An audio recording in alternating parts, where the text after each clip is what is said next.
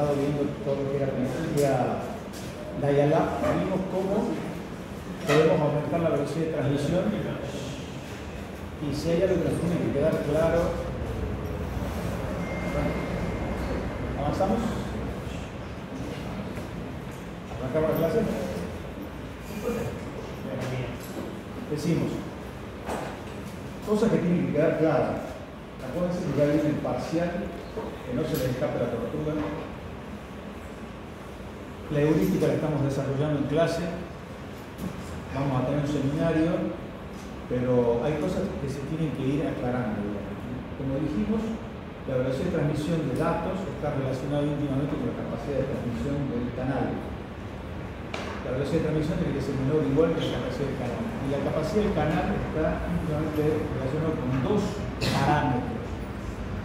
Ancho de banda y relación de. Cualquiera de estos dos parámetros se empobrezca, nosotros tenemos una menor capacidad de canal, por lo tanto, una mayor velocidad.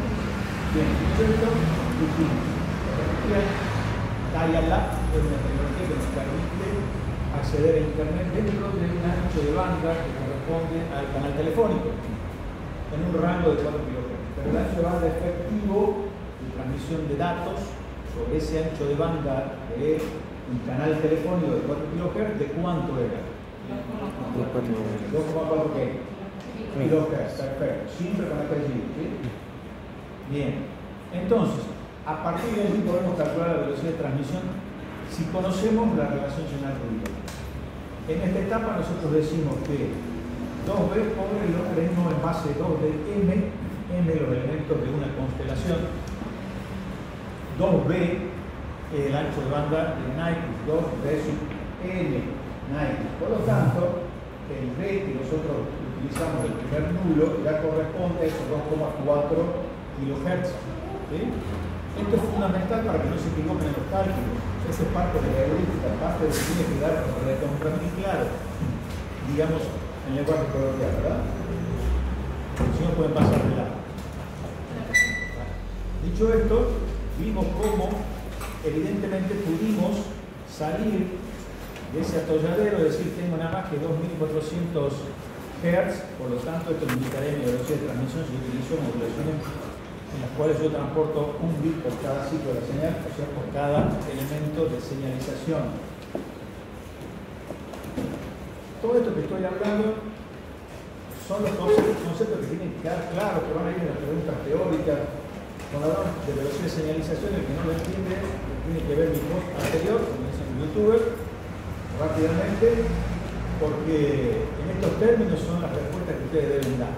Entonces dijimos, logramos justamente aumentar la velocidad de transmisión gracias a la numeración multinivel. Y esto, en este caso, ¿por qué no usamos la fórmula de Shannon?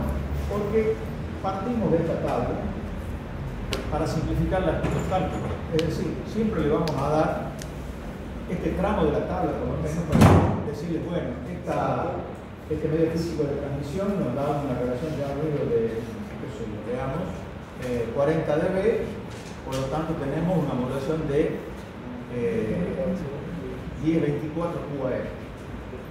O directamente le sigo utilizando la modulación de 1024 QAM, calcule, perfecto. Ya vimos todo esto, vimos los estados del modem, esto lo vimos, ¿verdad?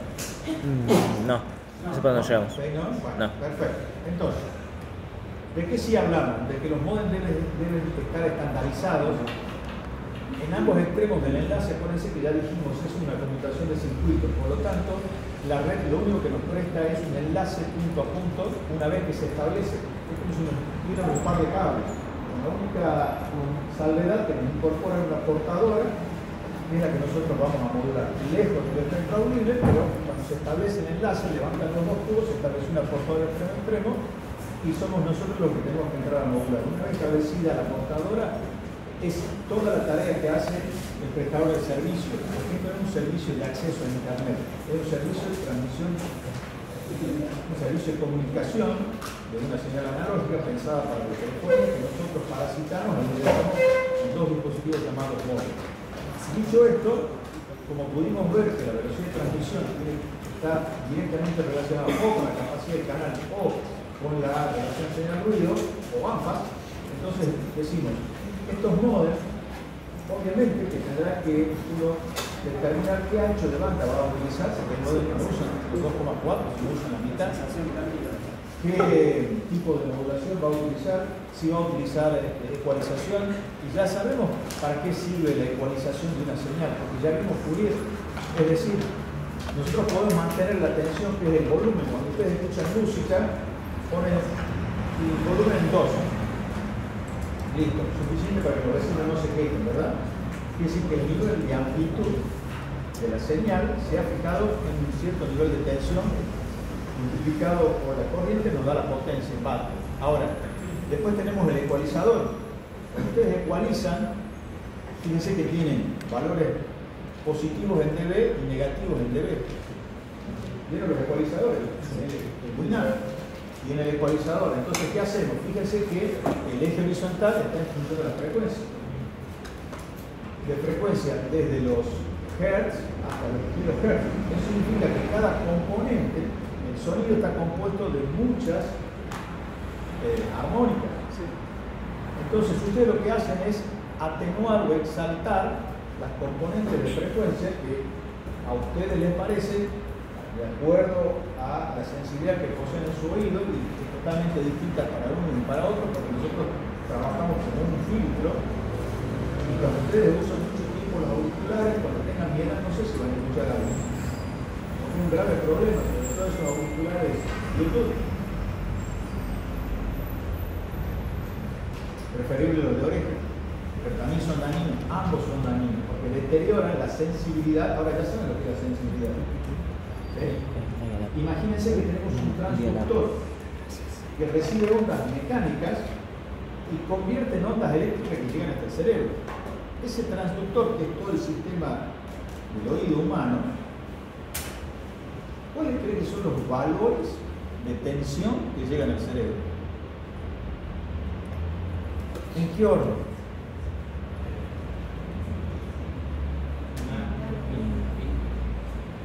Pico, patio, que se expresan en dBm, menos 100 dB ya está menor de pico vatio. Ahora, si a nuestro oído lo dañamos, la sensibilidad que tenía inicialmente va a disminuir.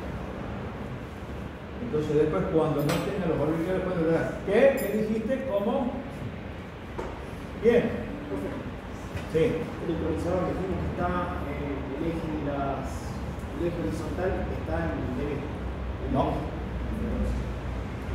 Eh, vean algún ecualizador. No, no, pero. Sí. Vean un ecualizador. No, sí, mi pregunta es si el dB es una relación de potencia. ¿Qué respecto a qué? ¿Qué es el decibel? De comparación entre qué? Dos magnitudes. Sí, por eso, ¿cuáles son No siempre lo que vos dijiste. Por eso digo, es una relación entre dos magnitudes. Una relación logarítmica entre dos magnitu- magnitudes. Por eso siempre les di el ejemplo del amor y todo esto que hacía reír, para que concienticen de que no siempre es potencia de entrada respecto a potencia de salida. Es entre dos magnitudes. Dicho esto, sí. ¿Cuáles son las magnitudes normales para graficar el Bien, estás comparando la señal en el rango de frecuencia que vos estás atenuando o exaltando en el numerador que colocan. el valor final? El valor final, o sea, el valor de salida. En el denominador, El valor inicial. el valor inicial. ¿De qué? De la potencia que tiene esa señal a esa frecuencia. Entonces vos cuando exaltas, lo que estás haciendo es amplificar esa frecuencia o atenuar esa frecuencia respecto de lo que tenías de entrada. Pero de ningún modo eso implica que vos vas a aumentar tu potencia. Lo que estás haciendo es cómo va a ser la distribución de esa componente respecto a la totalidad de la energía que está transmitiendo. Bien. Entonces, eso en un modem, ¿para qué nos puede llegar a servir? Bueno, porque si el espectro de frecuencia donde está trabajando, ¿se acuerdan que el espectro de frecuencia, el ancho de banda es de 2,4 kHz? ¿Su espectro entre qué valores está?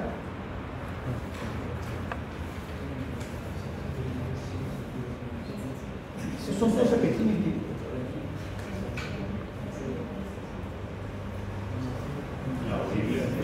No, no, el, el model de dial ¿Cuál es su espectro de trabajo? No, ese es el efectivo del ¿Entre quiénes? Por eso, ya sé por qué voy lento con ustedes. Porque están adivinando que tienen que hacer ver la diapositiva del PowerPoint que lo tienen, ya tienen que tener su teléfono. Igual la diapositiva anterior y ahí está. ¿O no? Miren, esto es lo que ustedes tienen que hacer. Vuelven hacia atrás y ahí. No se lo dije, no, Millennial. Yo soy también un boomer. Por eso me pongo esta remera. ¿Eh? Carlos, mi idea. Bien, voy a avanzar rápido. ¿Eso qué quiere decir? Estas características, la ecualización, por ejemplo, fíjense, si de los 4 kHz nos respecto a las bajas frecuencias, ¿dónde comienza nuestro espectro para dial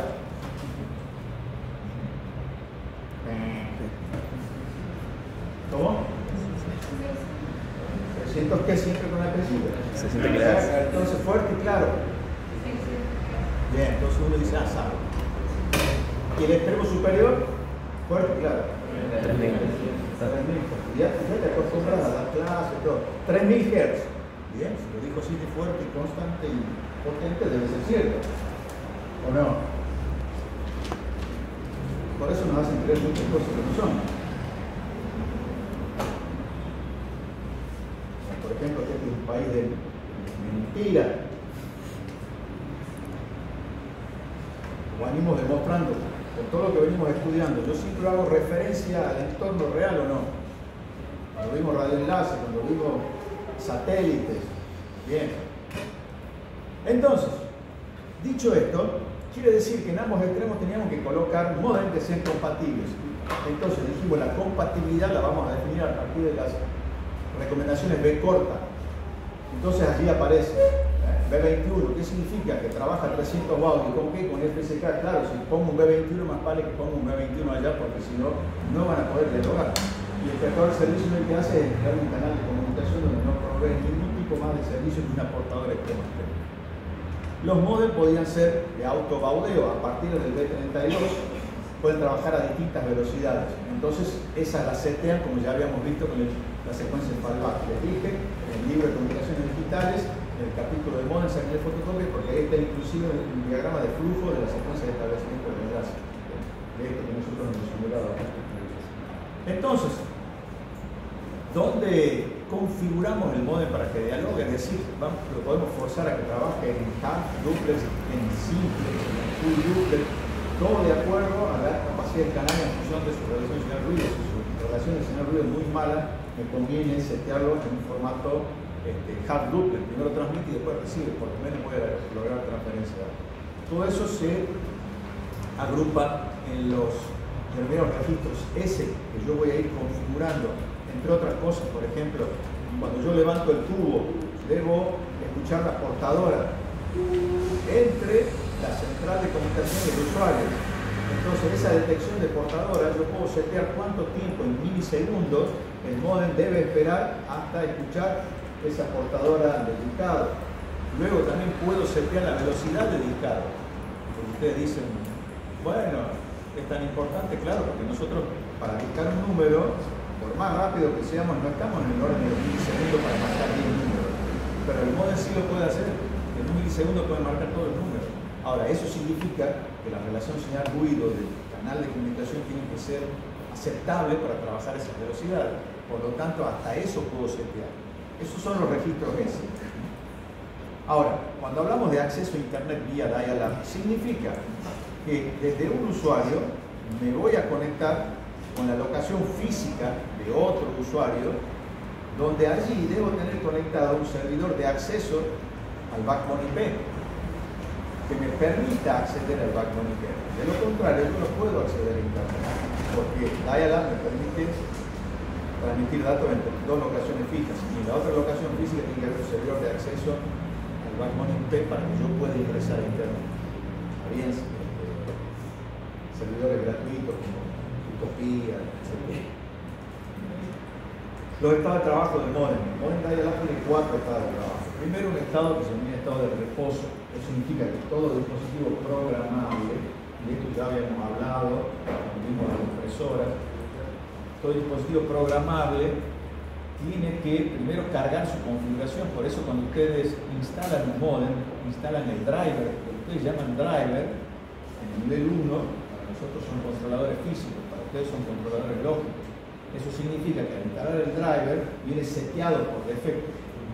Entonces, para configurarlo, ustedes entran a los registros S y reconfiguran ese modem para que realice todas estas tareas de control y de transferencia de datos, porque hay una primera tarea de control que es establecer el enlace, toda esa situación que hicimos la clase pasada, y luego transferir datos haciendo uso de sus sistemas moduladores y demoduladores. Entonces, para eso debe ingresar en el de reposo, significa que yo enciendo el dispositivo y empiezo a rogar que entre en su de reposo, lo mismo que ustedes hacen con sus ordenadores. Están, estos ordenadores portátiles están en stand-by, no sé que saquen la batería.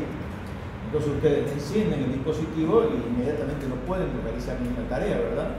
Tienen que esperar que se cargue todo el sistema operativo, hasta que por fin les entregue el control del PROM y ahí recién ustedes ejecutan una tarea. Allí entonces su estado de reposo. Ahora, cuando ejecutan tareas, en realidad se están ejecutando tareas eh, por ejemplo, Windows es eh, totalmente gráfico la interfaz, pero cada vez que ustedes hacen clic en algún icono, eso, ustedes ya lo saben, ejecuta este, determinados comandos que están programados. Entonces, el modem responde a comandos y esos comandos son los llamados comandos AT, la A y la T de atención son comandos, determinados comandos AYES. Estos son los comandos con los cuales yo programo al modem para que realice una determinada tarea. Es como su sintaxis. Entonces yo digo, levanta el tubo ATH y luego vienen unos parámetros que configuran cuánto tiempo levanto, cuánto tiempo espero, etc.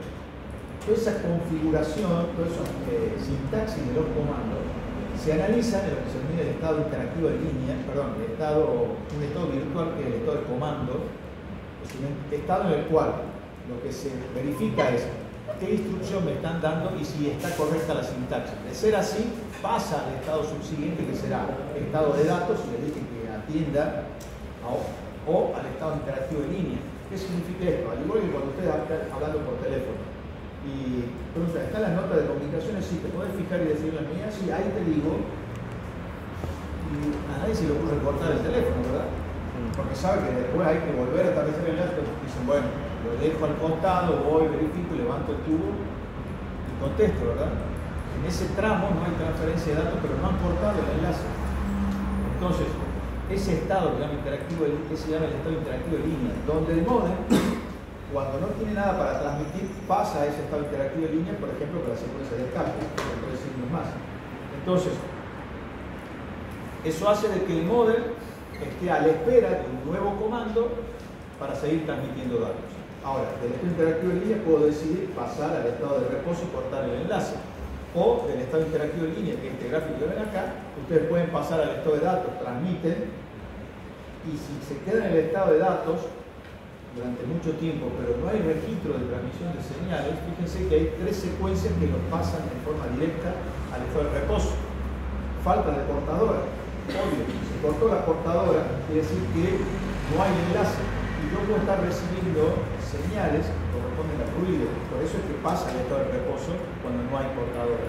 Y eso lo estoy censando constantemente cuando vimos RC32 había una línea, la línea 8 de SD, Data Carrier Detector, que era la detectora de portadora de datos, una señal entrante al DTE, que le decía, en ese caso era el propósito general, pero ahora toma relevancia, reciben poder dar y es externo, con esa señal estoy constantemente avisando de que tengo portadora. Si se corta esa señal, corto la recepción de datos o la transmisión de datos y fíjense cómo paso directamente al estado de apertura de Data Terminal Ready, quiere decir que se acuerdan las señales de control de RS232, Data Terminal Ready iba del DTE al DCE, era de propósito general, pero en este caso, si estoy controlando un modem, ahora sí, data terminal ready, significa, si yo la pongo en cero, que corte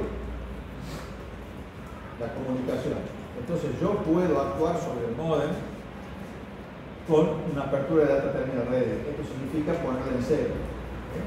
O también dicen, fíjense, espacio largo. ¿Qué significa? Que yo seteo en los registros S cuántos segundos o minutos voy a esperar sin transmisión de datos antes de cortar en forma automática. Porque supónganse que ustedes están transmitiendo datos y se distrajeron, se fueron, pasó el estado interactivo en línea y se fueron a dormir.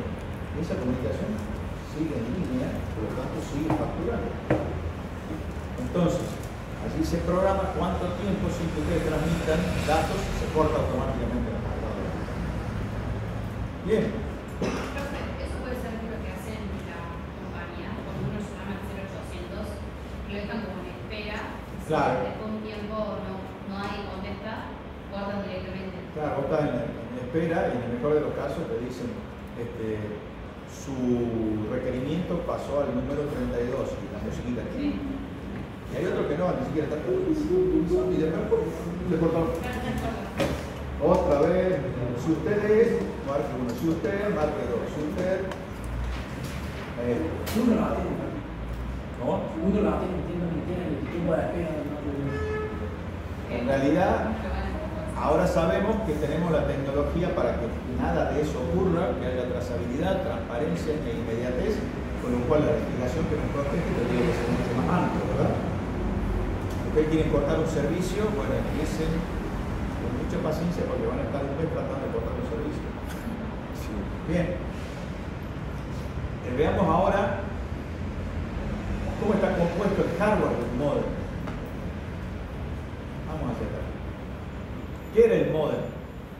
Su nombre le, le da una clave. Modulador del. Modulador del modulador. Exacto. Entonces, pensemos de todo lo que venimos aprendiendo en la materia. Si yo quiero transmitir datos, debo entrar en una etapa moduladora. ¿Qué tipo de modulación? Modulación digital. ¿Por qué? Porque mi modulador es digital. Voy a entrar en un medio analógico, por eso mi portador es analógico. Perfecto.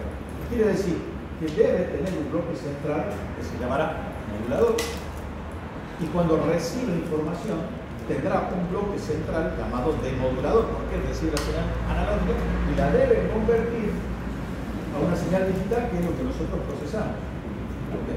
Entonces, no es nada extraño decir, bueno, el tiene una etapa modulador, una etapa demodulador y una etapa de control. ¿para qué esa etapa de control? Entre otras cosas, para establecer el enlace.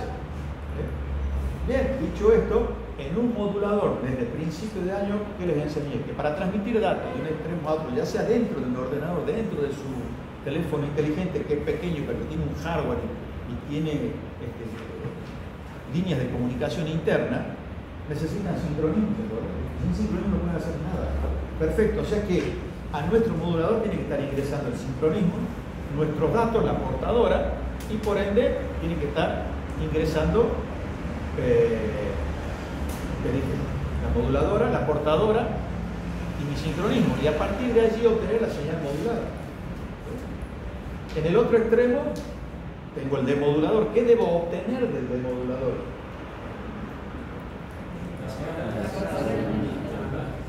Y los datos. ¿Para qué el sincronismo? Para poder hacer la lectura de los bits que estoy recibiendo, si no, no sé con qué sincronismo salieron. ¿Para qué quieren la portadora?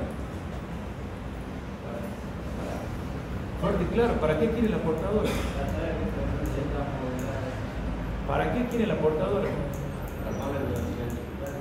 ¿Cómo? Ajá, ¿y para qué? ¿Cómo? ¿Para qué la portadora? ¿Quién acabo de decir eso? Para poder salir del canal analógico. Se corte la conexión. Si yo no tengo la portadora, se cortó la conexión en algún tramo. Entonces le aviso a cualquiera de los dos, a Gore que estoy avisando, se cortó la portadora, listo, ¿qué ocurre? No recibo datos. Porque el modulador va a seguir recibiendo señales y los va a convertir en 0 y 1. Bien, entonces para eso necesito. Entonces, ahora vamos a. Por eso no hace falta memorizar nada, solamente razonar. Entonces tenemos nuestro bloque modulador nuestro bloque de control. Data Terminal Ready y Data Set Ready será justamente para ingresar en el estado de reposo. Data Terminal Ready en 1 lo hará ingresar al módulo en el estado de reposo. ¿Para qué? Para poder darle instrucciones. ¿Sí? Pero contesta, sí, estoy en el estado de reposo listo. A partir de allí, yo puedo hacer una petición de envío de datos, reconstrucción aquí toma sentido, R232, un modelo externo, ¿de acuerdo? ¿Para qué me sirve reconstrucción? La petición de envío de datos es para que se ejecute toda la secuencia de establecimiento de la conexión. Petición de envío de datos. Ah, listo, pongo los datos por todos mis módulos. No, tengo que establecer el enlace. Entonces hago una petición de envío de datos y el modelo empieza a partir de lo que yo he programado y he descargado el driver con lo que he seteado como parámetros, empieza a levantar el ruido que escuchan ustedes y luego cuando tiene el enlace ya disponible, me avisa por clear to send, listo para enviar. A partir de allí, por la línea 2, ¿qué hago? Coloco los datos, ¿se acuerdan? La línea 2 iba del DT al DCE y transmitía datos. Aquí, ¿se acuerdan cuando vimos las señales sincronismo? Le dije, cuando veamos modem vamos a ver quién es quién. Bueno, la señal 24 de RC32 es la que nos permite ingresar el sincronismo. ¿De dónde obtengo el sincronismo? Fue por lo que fueron generados estos datos. Entra al modulador. ¿Qué más necesito? Una portadora. ¿Y esto qué es? El seteo de velocidad. La línea 23 es la que setea la velocidad. ¿Por qué? Si yo cambio de frecuencia de portadora, cambio de velocidad de transmisión porque es un modelo de autobaudeo. ¿De acuerdo? Dijimos, están seteadas cuáles son las frecuencias, por eso tienen que ser compatibles o retrocompatibles los modems, de lo contrario imposible que dialoguen.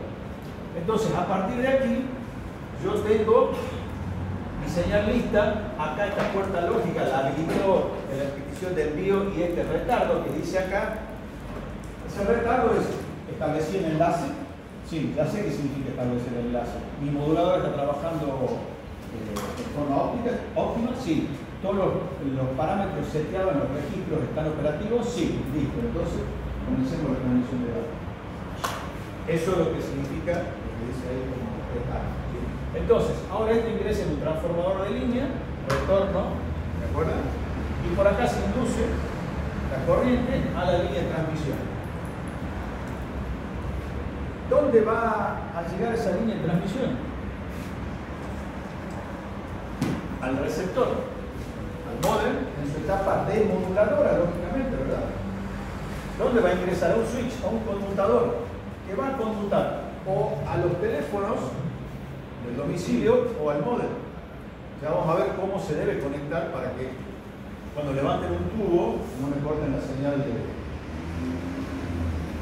modem, porque justamente fue conmutado de la línea telefónica, la línea telefónica la conmuté al modem y este dispositivo no tiene acceso. Luego, detector de portadora, perdón, de llamada entrante. Es una señal analógica. Obviamente que ese detector será un conversor analógico digital. ¿Por qué línea entra? La famosa 22, ¿se acuerdan? Iba del DCE al DT. Indicador de ring. Ah, y esto tiene algo muy importante cuando digo las fortalezas de área es que en forma remota yo puedo encender a un ordenador con una llamada entrante, inclusive con los ordenadores más viejos. ¿Por qué? En el setup, vieron que cuando cómo encienden su ordenador, por un pulso que cuando ustedes este, usan el, pulsador de arranque, y fíjense que entre las opciones dice RI. Quiere decir que si tiene una llamada entrante, ustedes dicen, bueno, porque si tienen un modem, el modem está conectado, a la línea telefónica y si recibe una señal entrante, ustedes llaman por teléfono, ¿no?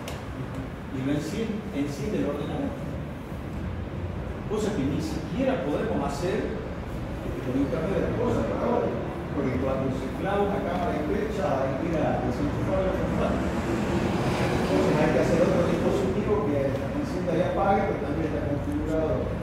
Pero, o sea, se cayó el, el enlace, el router no cae, chao. Pero en cambio esto, usted lo pueden encender directamente. Siempre y cuando tenga la línea y siempre y cuando obviamente tenga su corriente. Es una fortaleza. Bien. Entonces, llamada entrante. El transformador de línea, ahora obtenemos el retorno por la línea 7, la corriente eléctrica ingresa al demodulador. ¿Qué obtendré del demodulador? De nuevo, sincronismo, portadora datos. Sí. ¿Cómo hace para encender el dispositivo?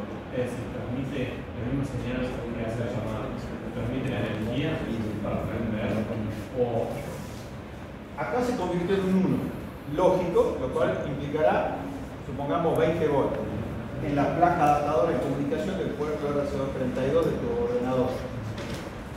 Tu máquina, tu, tu ordenador de escritorio, está configurado, está conectado a 220, pero está configurado cómo va a arrancar. En el setup, power setup, fíjense, configuración.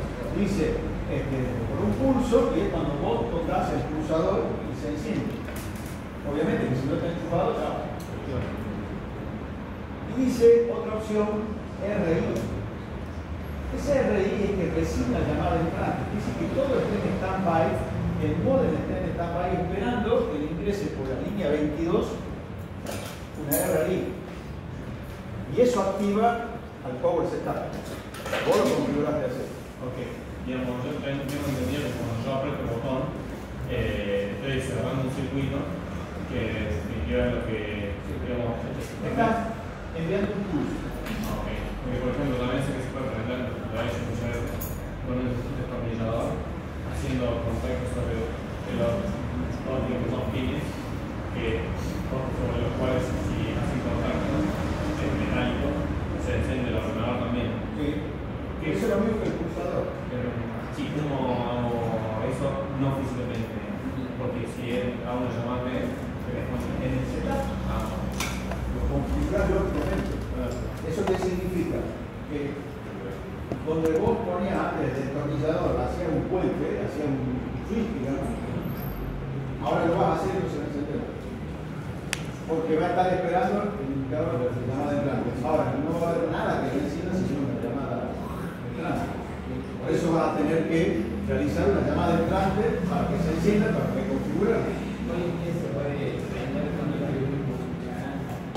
Bueno, entonces, ¿qué obtenemos acá? La portadora, que es analógica. Esto que dice detectora, ¿qué será? Esta señal, ¿es analógica o es digital? SD.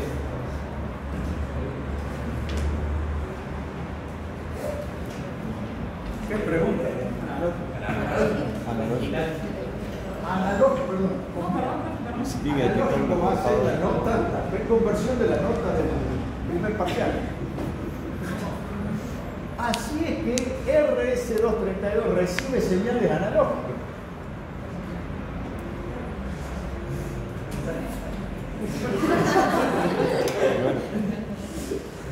O sea que esto es una interfaz analógica.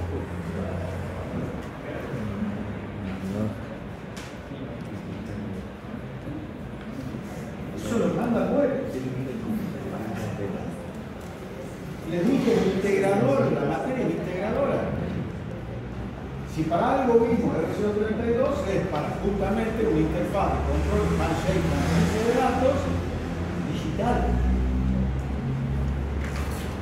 no analógico. Trama asíncrona, 0 y 1 no eran señales analógicas, sino.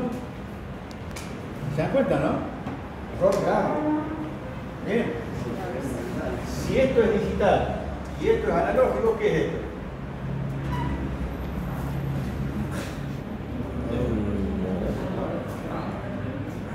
Un conversor digital, analógico o analógico digital. Para eso viene un PCM. Lo mismo que tienen acá.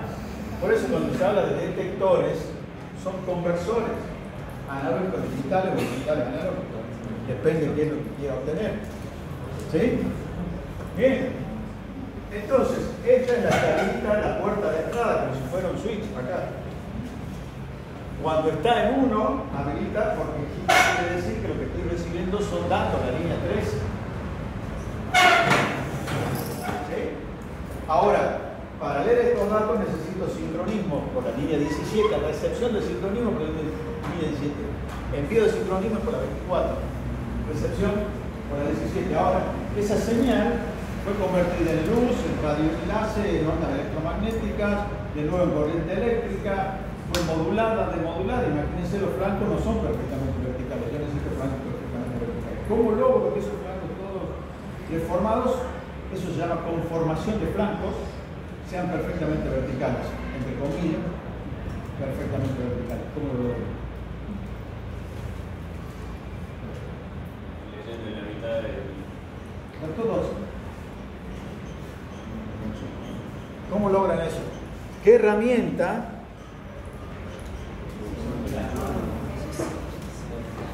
¿Qué herramienta? ¿Se acuerdan la primera clase que? Yo les dije, a ustedes les interesa que la entonces eso utilizo, ni me interesa cómo la fabricaron por eso la herramienta. Yo tengo los flancos. A ver,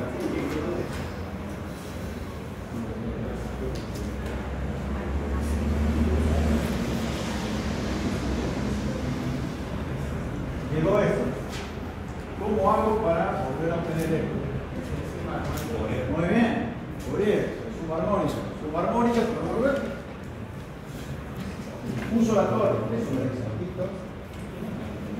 Entonces, necesito que alguien me provea las armónicas y obviamente va a ser el oscilador, el mismo que provee la portada en la etapa transmisora, proveerá las armónicas en la etapa receptora. Listo, vuelvo a conformar los francos, tengo francos perfectamente verticales, puedo leer los datos que estoy recibiendo por la línea 3. De lo contrario, no puedo leer. Ahora, es sumamente complejo el hardware. Todo Esto es un enlace transmisión-recepción y obviamente estoy transmitiendo. Ahí transmito simplex, half duplex o full duplex.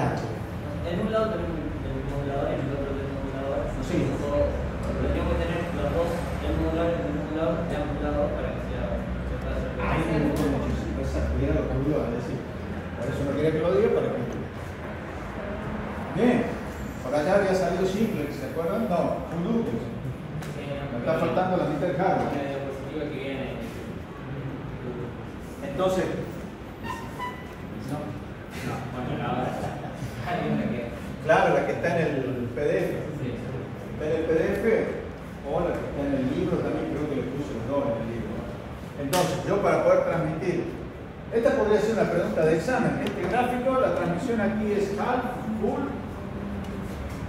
Qué capcioso. No, integradora. Por eso le digo libro abierto. Sí, bueno. ¿Dónde lo van a buscar? Fotografía, imagen, busca, claro. Y esto no es nada desarrollado, por eso hice ese libro y después capítulo de móvil en Dialab, no existía nada de eso. Bien. Entonces, si yo, evidentemente, un modem tiene que tener una etapa transmisora, una etapa receptora y una etapa transmisora y receptora, que es lo que está faltando acá, para que puedan dialogar los modems entre sí. Entonces, cada etapa dialoga en un instante de conversación. Ahora, si es full duplex, están trabajando las dos en forma simultánea. Para que trabajen en full duplex, ¿cuál es el parámetro que tiene que ser bastante bueno? No no. La velocidad de transmisión. Mm, ¿Cómo se llama? Velocidad es un cambio.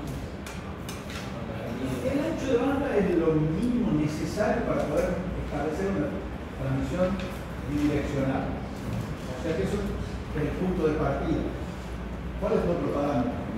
La relación, la relación La relación señal ruido. Por eso le dije al principio, son dos variables. Esta, si ya lo hemos calculado para que sea, pero hay modos que no, que eran multidireccionales simples, claro.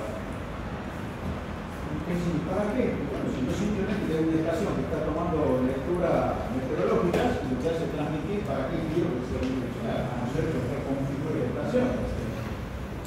Todo depende. ¿Sí? Perfecto. ¿Cómo era? Como un fotógrafo. Sí, sí. Totalmente analógico el acoplamiento. El modem es esa caja cuadrada blanca porque mi teléfono se conectaba en forma acústica. Luego, modem interno, ¿eh? modem externos a través de RC232 se conectaban, es lo que veíamos con su propia fuente de alimentación. Y aquí está a la línea y al teléfono. ¿Qué significa? Que la línea externa debería ingresar acá con el conector RJ11 y salir de aquí hacia la línea telefónica interna. Entonces allí el switch conmutaba y si usted levantaba el teléfono no tenía tono, sin tono. ¿Eh? En cambio, ya ocurría habitualmente que lo conectaban en cualquier roseta interna, esta cajita para conexión telefónica dentro del domicilio y esa estaba en paralelo con las otras tomas, entonces ya no conmutaba. Entonces levantaban como era un circuito que estaba en paralelo, al levantar el tubo, ese teléfono va, hacía variar la impedancia de la línea. ¿Se acuerdan que esto varía de acuerdo a cuánto se van conectando?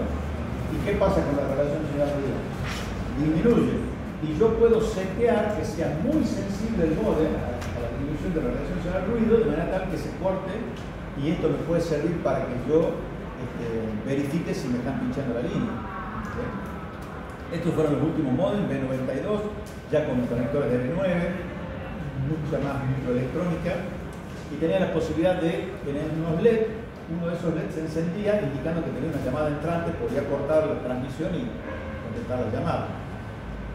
Y ustedes dicen, bueno, profe, esto ya no se usa más, están equivocados. Fíjense para, por qué US Robotics está fabricando modem Dial-Up que se conectan a través de USB. Nadie fabricaría pantalones de seis piernas porque no se lo vende a nadie. Y menos eh, Levis. Entonces decimos, bueno, ¿cuál es la ventaja entonces de seguir utilizando estos modems? Que el enlace, toda la transmisión de datos se da en el nivel 1, en el nivel físico. Modelo O si no tocamos el segundo nivel, ni el tercero ni el cuarto. Mientras que las próximas tecnologías que vamos a ver ya usan más niveles del, del modelo OSI y por lo tanto la captura de la información es mucho más simple y está a nivel lógico. ¿Cuál sería la ventaja de mantener los datos más bajos en el negocio? Seguridad. Seguridad.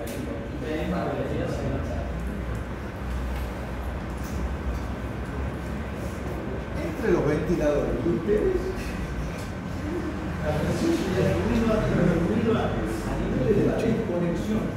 Involucraría levantar la mano. Te digo,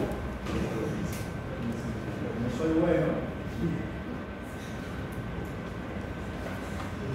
Bien, ¿estamos en clase? Este grupo está medio.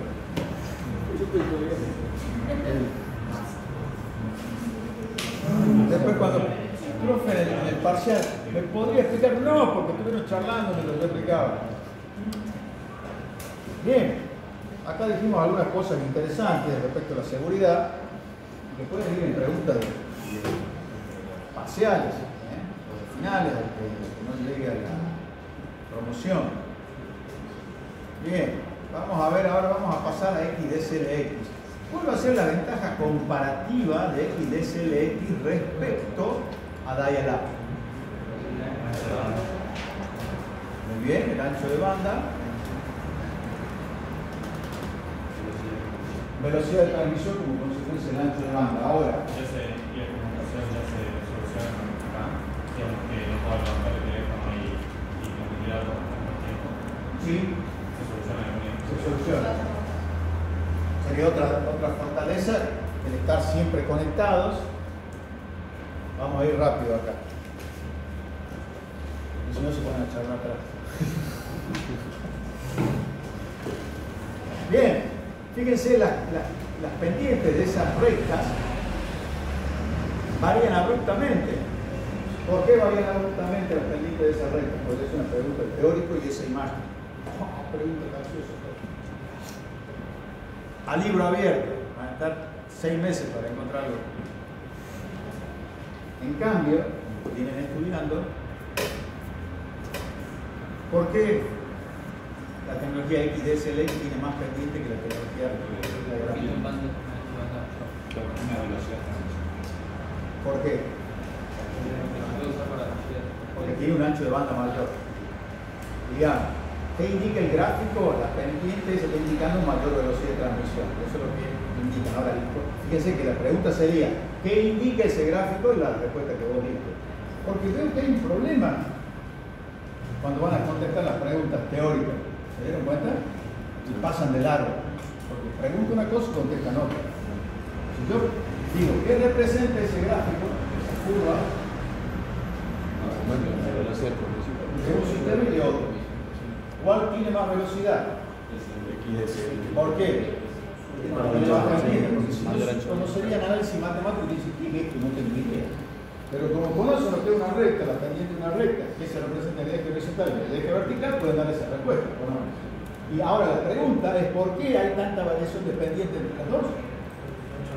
Por el ancho de banda, porque el ancho de banda y, y qué es lo que permanece, y porque ¿qué otra razón sería la válida para que obtenga más velocidad. La relación el ruido, pero estamos utilizando los niveles de modulación son como, consecuencia, la columna de decibeles es el origen para que yo opte por esos niveles de modulación que me dan como resultado la primera columna, que es la cantidad de bits que yo puedo enviar por cada símbolo de la señal. Entonces, la pregunta acá, fíjense, con un solo cuadro podemos hacer un montón de preguntas. Y yo lo que logro evaluar es si ustedes entienden qué están respondiendo, para empezar. Y segundo, si tienen conocimiento teórico sobre los temas que estoy evaluando. Entonces, si yo dije solamente, porque dijimos solamente la responsable de, de la presión beta pendiente está en función del ancho de banda. ¿Por qué? Porque en esta tecnología nosotros vamos a hacer uso de la misma última milla que hace de la, de la misma. Es decir, que el mismo cable tiene. Ahí, tenemos un montón de cables. Y ahí hay una cierta relación señal ruido entre los cables. Porque, entre otras cosas, ahí tienen una- un acoplador de este, cable coaxial, que trabaja en el orden de los megahertz, lo cual implica que esté irradiando señales del orden de los megahertz. Si por ahí pasa un par de cables telefónicos, como está pasando por arriba, ¿lo ven el cable telefónico? El superior y más finito es el cable telefónico. Ese cable telefónico que va hacia ese colegio está sometido a todo el ruido que genera esa. Es más, lo pueden ver con ya han descargado las aplicaciones para detectar el campo electromagnético, la radiación y pueden acercarse, alejarse y van a empezar a ver por todos lados. Van a aparecer niños, van a empezar a entender la realidad. Entonces, usamos la misma, el mismo tramo de última milla.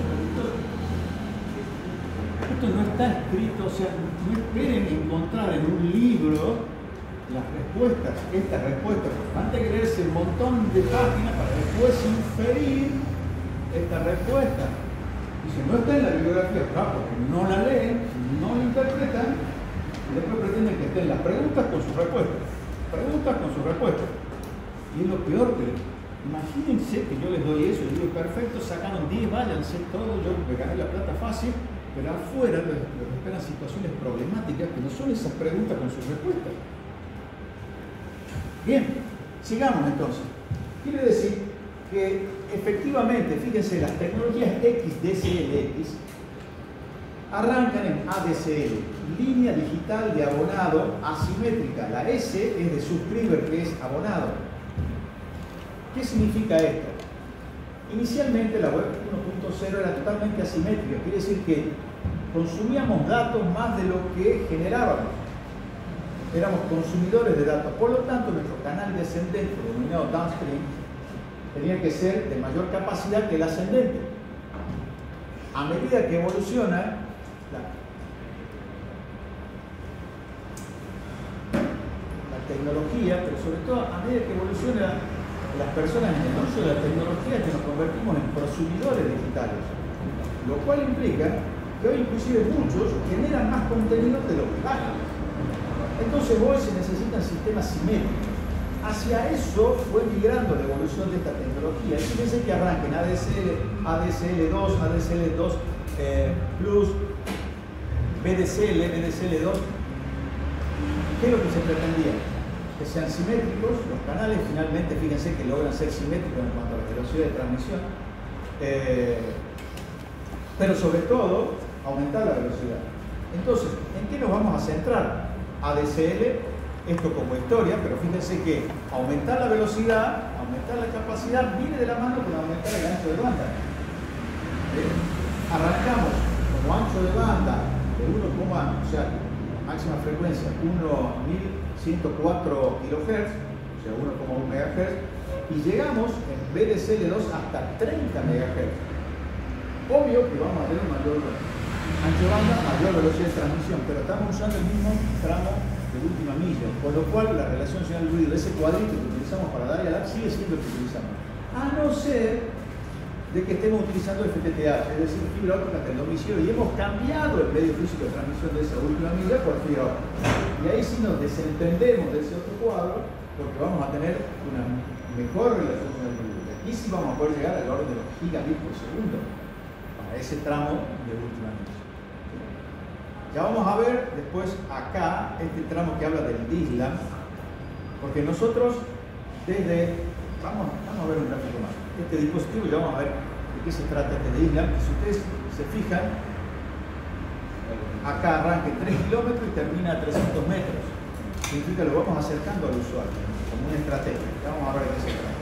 Lo primero que fijamos son los espectros de frecuencia.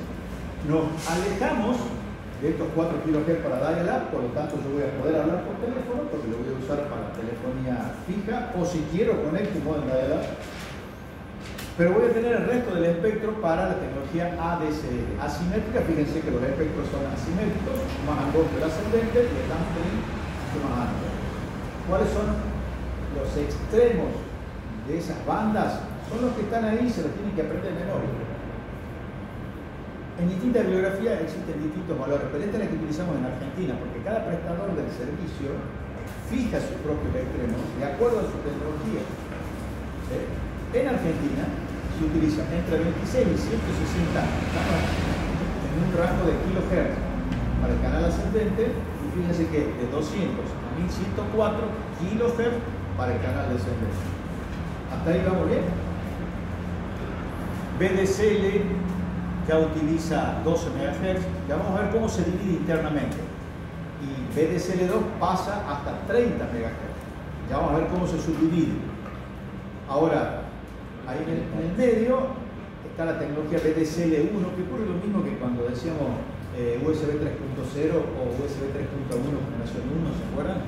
Como para que no quede tan lejano, le pusieron BDCL1 a la BDCL cuando apareció BDCL2. Y eso se presta a confusión muchas veces, pero solamente ahí.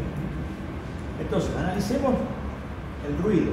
Nosotros tenemos que la central telefónica esta, era este switch que tenemos acá, que es el conmutador del circuito, pero para el caso de las altas frecuencias que nosotros vamos a utilizar, se van a conectar con un dispositivo llamado DIGAN, que es un multiplexor de acceso a la línea digital diagonal. Ya vamos a ver cómo funciona.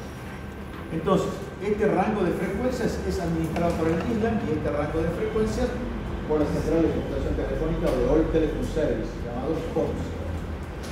¿Cómo está constituida esa última milla? Es entre la localización de, como dijimos, de la central comunicación y el usuario. ¿Se acuerdan que iba soterrado? Todo eso sigue siendo exactamente igual, solo que ahora vamos a utilizar ¿Cómo hago para que este rango de frecuencias vaya a parar al switch de la telefonía fija y cómo hago para que este rango de frecuencia vaya a parar a este DISLA? Si todo este rango de frecuencias está siendo transportado por la última milla. Sí, muy bien. Entonces, para obtener, tanto a la entrada y la salida, para obtener la, eh, la señal telefónica en el teléfono, ¿qué tipo de filtro aplico? Pasa Pasa abajo, muy bien.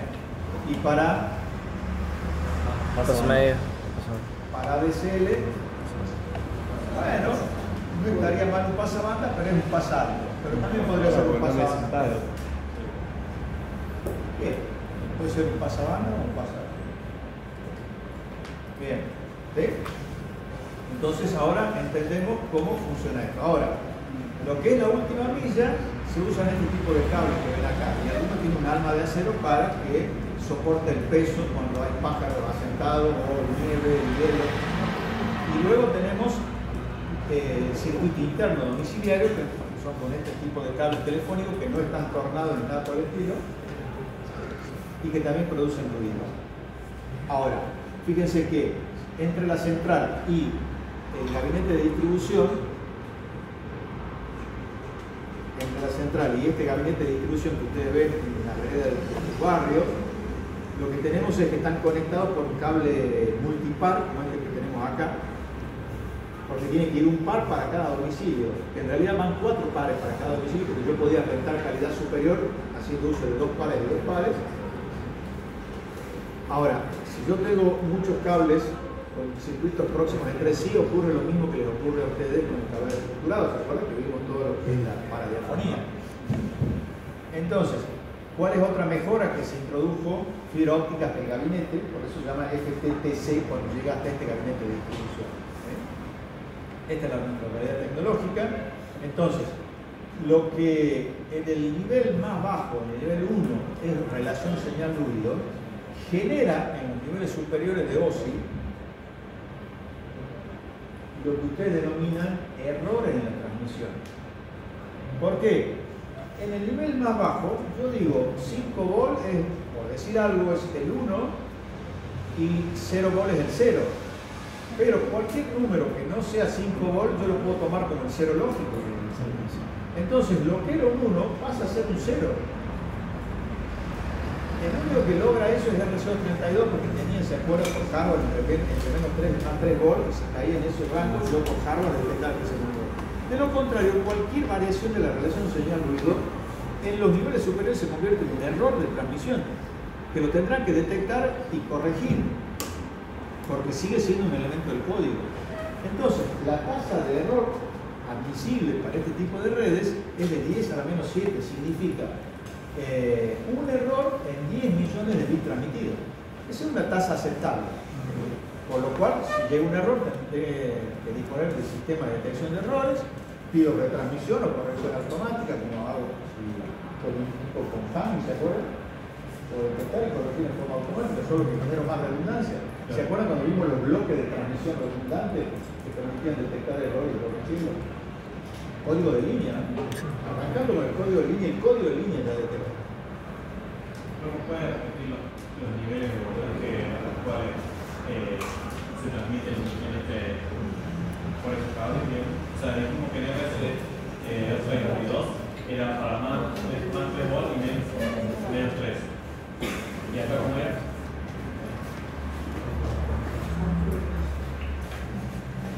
Código de línea. Este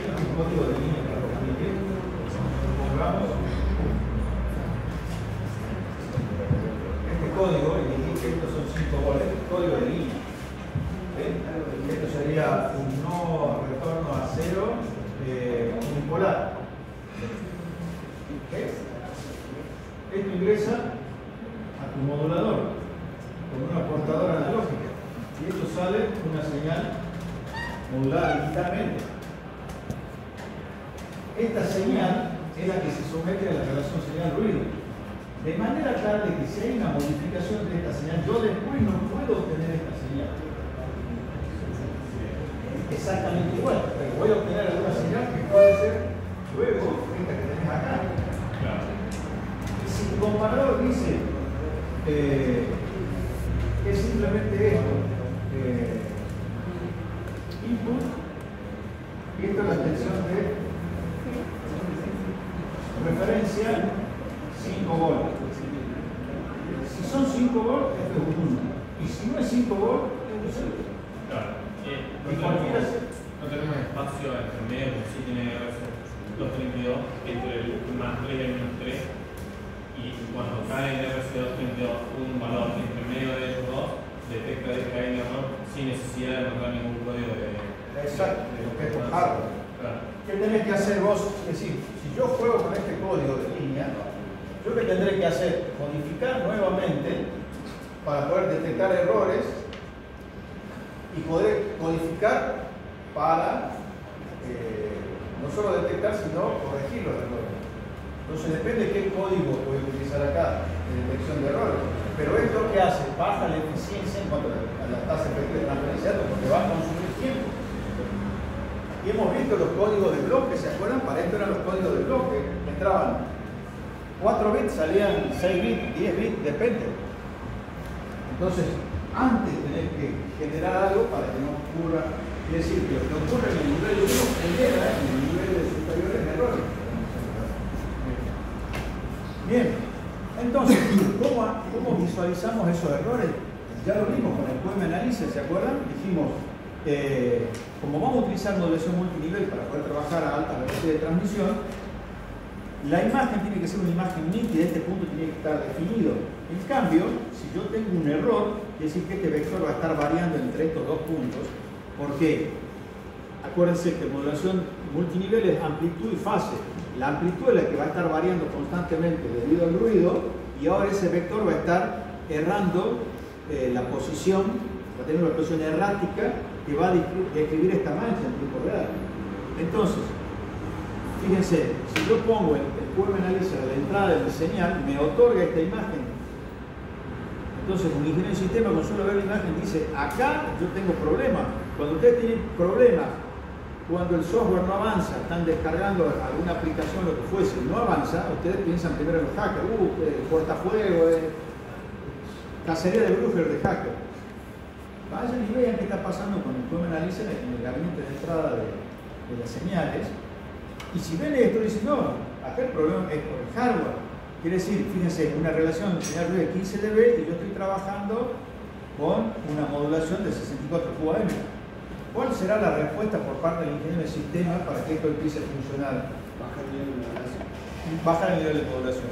Ahora dice, no, che, podemos mejorar la relación señal-ruido, tienen que agarrarlo de los pelos a los niños y vengan y arreglen el último tramo que mejora la relación señal-ruido al prestador del servicio. Quiero, por, ahora bajé los niveles de modulación y esto va a funcionar, lento, pero va a funcionar. Pero ya me solucionan, no, está todo perfecto, no, lo estoy viendo acá en el problema de análisis, está.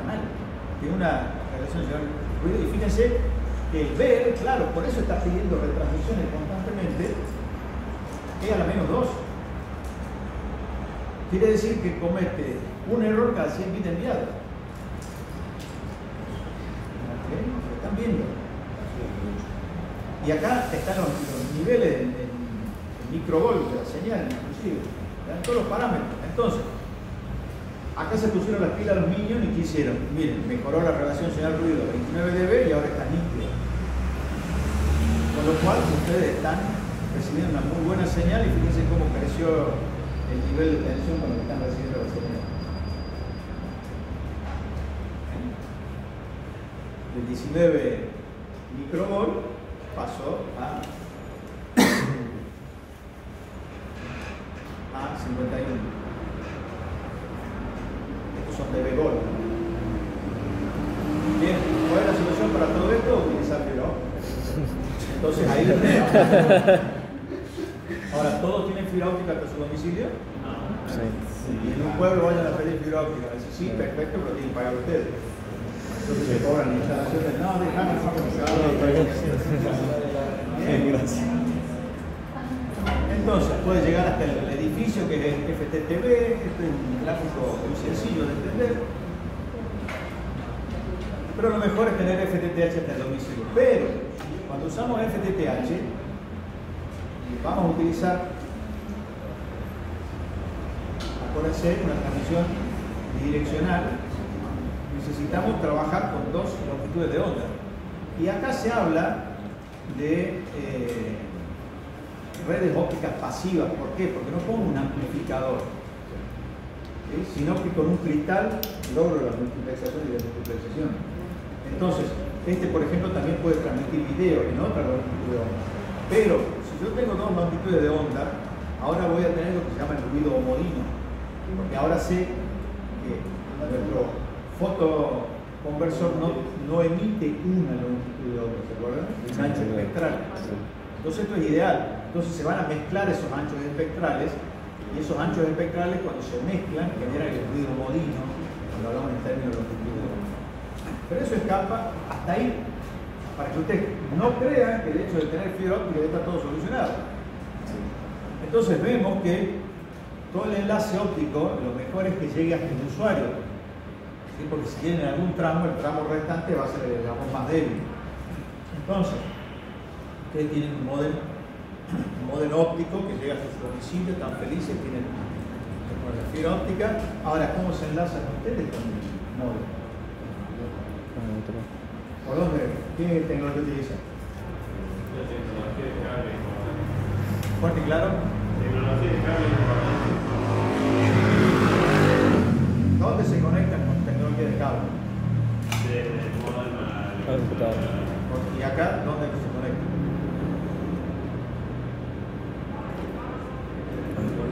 En las puertas. Bien, se conectan acá, felices, ponen un cable de estos. Y dicen, bueno, como aprendimos a limpiar, ¿no? Oh, voy al técnico de la cuadra, che, limpiame un metro y medio porque lo... ¿Y a qué velocidad hay que trabajar? Claro, tiene un, enlace de un gigabit por segundo y entra a esa velocidad y acaban de utilizar un cable UTP. O sea que ni siquiera está pantallado. Y encima lo armaron ustedes y se mueve. Conéctense en vía inalámbrica. Quiero, quiero mostrar con esto que si quieren utilizar esas velocidades de transmisión, no que utilicen cables certificados que vienen en una bolsita sellada y homologada. Sí, pero son caros. Bueno, si se han comprado un modelo y quieren trabajar a alta velocidad, más vale que sea un cable apantallado y certificada, limpiado de, la, de los conectores. ¿sí? O sea, de ningún modo utilice. ¿Qué otra opción tiene? Inalámbrico. Inalámbrica. ¿Y cómo, a través de qué se conecta? Wi-Fi es una marca. 202.11 y más vale que cuál. Ah, muy bien. Esta es una pregunta de. Es decir, una pregunta de un parcial. Es decir, ¿Y por qué si yo puse la A? ¿No querías trabajar a alta velocidad? ¿No tenías un modem óptico? Bien. Luego, ¿cuál sería lo mejor? Quiero tener una estación de trabajo. ¿Y qué tipo de cable? De cable al corno. De red al corno. ¿Y qué medio físico utilizan para ese cable de red? O axial. No, control. Cobre. ¿Para qué le enseñamos fibra óptica? Eh, fibra Un quad core de fibra óptica. Sí, es así. Pero, claro. Sí. Pero ¿qué tienes que tener en tu ordenador? Un fotoconverso. Un puerto óptico. Pero sobre todo, tienen que tener, porque acá les mostré un, un router, pero tienen que tener una salida óptica. Y hay algunos que te ponen, llegan, pero no tienen salida óptica. Y te dicen, ah, bueno. Normal dice, no, quiero comprarme la notebook con- tenga todo. Bueno, que tenga el puerto com, perfecto. Y le sale mil dólares más. Bueno, sí, porque quiero el puerto óptico. ¿Y tienen dónde conectar ese puerto óptico? No, lo conecto por, como dicen ustedes, Wi-Fi. Como ingeniero, creo que sepan qué están conectando, con qué, por qué, para qué. ¿eh? ¿A quiénes los consultan? ¿A ustedes? Che, vos que estudiás, vos que sos ingeniero, a ver, yo quiero así. ¿Para qué le querés conectar? No, para estar siempre en. En Instagram. Conectate vía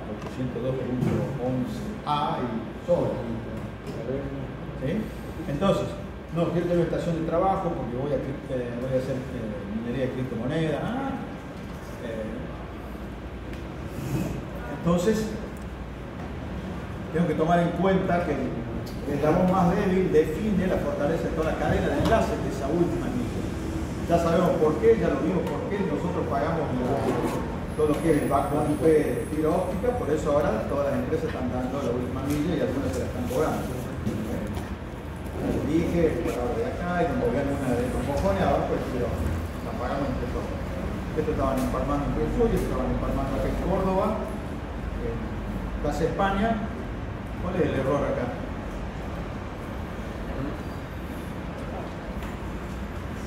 Tiene que estar todo herméticamente porque cualquier Claro, ¿Qué parte igual pueden Ah, generar? y están en la esquina, pusieron una vallita y acá dan vuelta los autos, aceleran, desaceleran.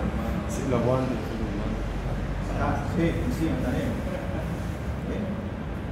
Bueno, en fin, ya como ingenieros están viendo algunas particularidades que hacen al rendimiento de esa red posteriormente. Ahora, si toda esa red de última milla, todos están por ahora viviendo 100 megabits por segundo, 300 megabits por segundo, la cosa va a funcionar. Pero si ustedes rentan 10 gigabits por segundo, eh, vamos a tener problemas con la reducción de ruido, con la atenuación. O sea, que no es solamente que llegue el fibra sino en qué condiciones llega el fibra. Bien, veamos. Dijimos esta es acá. La distancia a la cual ustedes se encuentren físicamente, todo está planteado para una milla, para 1.6 kilómetros desde el territorio de servicio. Si ustedes están a más de una milla, fíjense, cualquiera sea el sistema que ustedes renten, evidentemente la velocidad real de transmisión va a ser la que les permita ese último tramo. Entonces no es lo que ustedes pagan, sino su realidad tecnológica de esa última milla muy personal. Ahora, tenemos, fíjense acá, lo que ya dijimos, los filtros, filtros pasa abajo, pasa alto, esta diapositiva lo que hace es explicitar lo que estuvimos hablando recién. Bien, ahora, hay algo que se llama la gestión de ese ancho de banda. Lo que se va a hacer es dividir, y esto presten atención, se va a dividir en lo que se denominan canales DMT, multiplexación discreta multitono. Vamos a dividir todo ese ancho de banda, ascendente, descendente, lateral y downstream, en subcanales, que se llaman DMT. La tecnología es multiplexación discreta multitono. El ancho de banda, y eso se lo graban a fuego, el ancho de banda de estos canales DMT es de 4.312,5 Hz. ¿Sí? Entonces, El hecho de banda de el ancho de banda de cada uno de los canales, los cuales yo voy a subdividir se es de 4.312,5 Hz. Como siempre, vamos a hacer una cosa.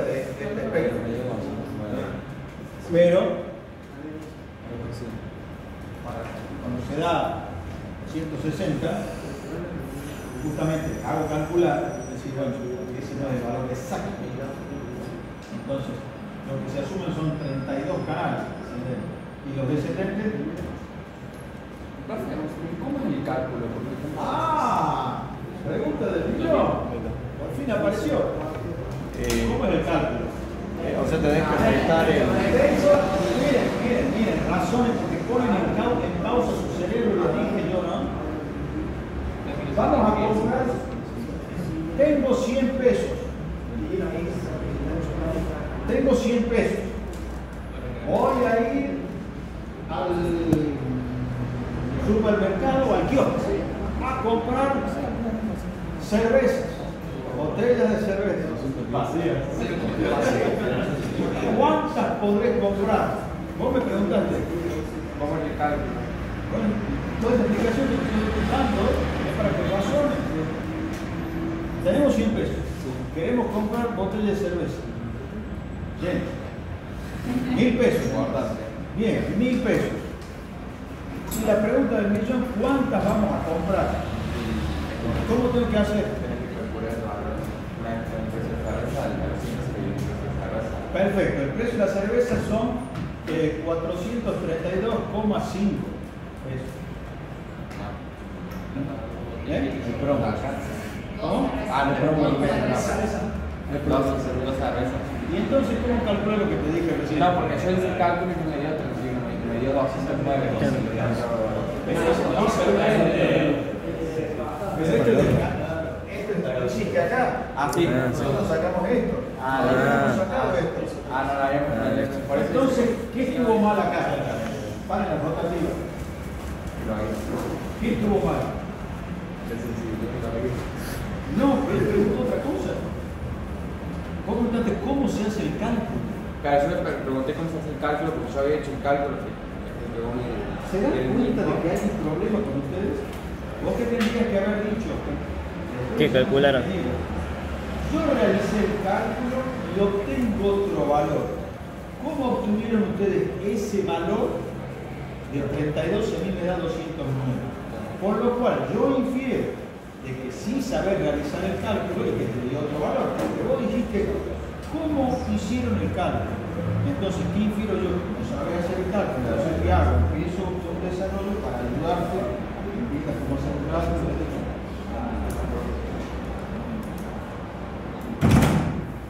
hay algo que deberían tener claro, es son los procedimientos. De lo contrario, imagínense, otra de las cosas que nosotros tenemos que enseñar es en una educación basada en competencia. Entre los objetivos generales es que ustedes sepan, aprenden a trabajar en grupo. Entonces, estamos trabajando en grupo, y ¿cómo se hace el cálculo? Y decir, pero entonces no se hace el cálculo. El cálculo se hace así, se hace el lío. ¿Entienden? El trabajo en equipo es también saber hacer la pregunta de lo que yo estoy haciendo y qué es lo que necesito como información. Por eso es que es relevante, es relevante, es relevante. Bien, ¿cuántos dio entonces? En el de. Ascendente y el descendente. 210. Bien, ahí está. Ahora, ¿qué significa esto? Eh, hay otro valor que anda dando vuelta que es 256, que es el, estándar, digamos. ¿eh? El cálculo exacto con estos parámetros son 210. Pero ADSL habla de trabajar, en la mayoría de la bibliografía van a encontrar 256 canales, por eso a veces también está citado 256 canales. Bien, ¿cómo hacemos para obtener ahora la máxima velocidad de cada uno de esos canales de MT? Aquí va a ser igual. Tenemos que ver la señal. La relación señal fluido. La máxima velocidad, ¿cuál va a ser? Bueno, ¿cómo la calculo? La máxima velocidad con Nyquist. ¿Qué relación van a tomar? ¿Qué relación de ruido van a tomar? Para, más relación, más Ah, relación, claro. ruido 55. Está. ¿Y por qué toman la más alta de 55? Vale. Porque vamos, porque si tenemos más relación señal ruido, vamos a poder hacer más niveles de bien. ¿Y por qué toman esa, ese cuadro que está ahí, el museo en Dialar? Porque solo se encontramos en el Muy bien. Muy bien. Estamos sacando el jugo a la piedra de esa última línea, ahora estamos tratando de trabajar a mayor velocidad antes de cambiar por fibra de óptica. Es lo que se está haciendo. Bien. Y tomamos 55 efectivamente porque es la mejor relación señal ruido esperable para ese tipo de línea. Por eso dice la máxima para esta tecnología. Listo. ¿Cuánto le da? Entre 100.000 y un millón. Díganme el valor exacto. Esto es ingeniería. No es futurología ni astrología.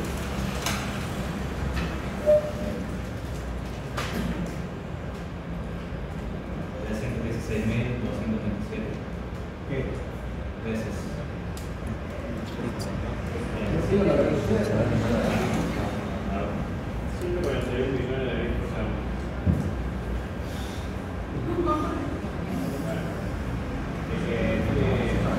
¿Qué estás calculando? Primero, ¿qué estás calculando? Ah, sí. La velocidad de transmisión ¿De qué? de un canal. De un canal. ¿De qué canal? Del canal. Un canal puede ser un canal de video. ¿De qué canal estamos hablando? Se divide el. ¿Cómo se llama? Ayudador. No me acuerdo. Un canal de MT. Bien, ¿cómo calculaste la velocidad máxima de ese canal de MT? Para todo, ¿eh? La Era el pasa por la cantidad de. ¿Cómo hemos dicho que lo vamos a llamar? Elemento de la comunicación. Bien. Entonces, ¿qué ancho de banda tiene? Bien. ¿Y cuántos niveles tenés ahí? Ajá. Y vos te multiplicaste así de pecho, como venían ustedes, 32.000 con 4.305. Y en el medio no hay algo llamado el organismo en fase 2, 3. El número de elementos de la computación en la ecuación famosa de Nyquist. ¿Vieron que pasan de largo? El ancho del limpio. Ahí levantando el circo porque lo hago para el profe. ¿Está bien?